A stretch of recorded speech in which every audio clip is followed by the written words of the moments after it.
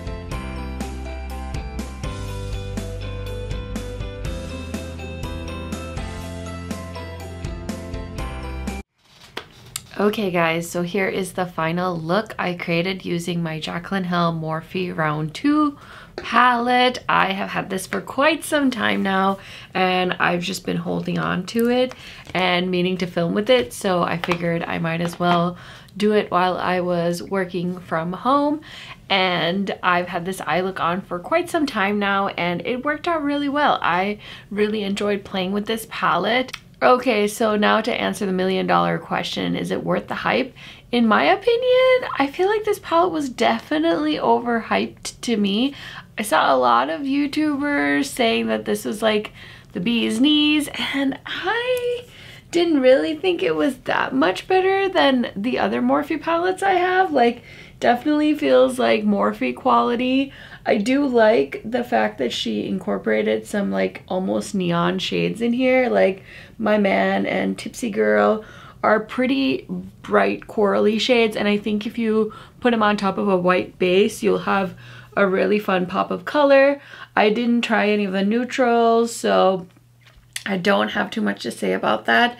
And the one shimmer shade I tried was nice, but I wanted it to look more yellow. So I added some of the Clionadh Stained Glass um, Vibrant Multichrome, as well as some gold shadow from the Metropolis palette um, by Natasha Denona. So I did try to use some other shadows to really amp it up on my face. So yeah, that's my first impression conclusion so far. I think it is like tan girl friendly. I think a lot of people are going to have this be their one and only palette. I think that she should definitely keep coming out with Morphe palettes like this because I know so many women in my just like regular day life that have this palette. Last year I took a couple of girls trips and I know a lot of my friends had Morphe palettes in their makeup bag. I was actually pretty shocked, but it makes sense because they're in Ulta now.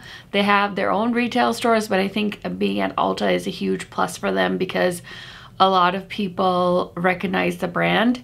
And of course, a lot of big influencers talk about them still I think so they have really good reach as far as the brand goes. So Jaclyn Hill, Morphe, kind of synonymous in the makeup industry, especially when it comes to regular makeup consumers. So I can see why they did a round two. I think this is good. Is it like the best thing in my collection?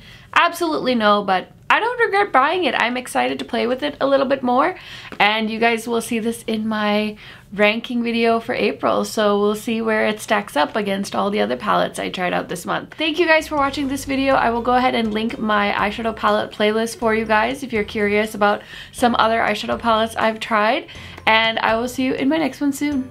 Bye guys.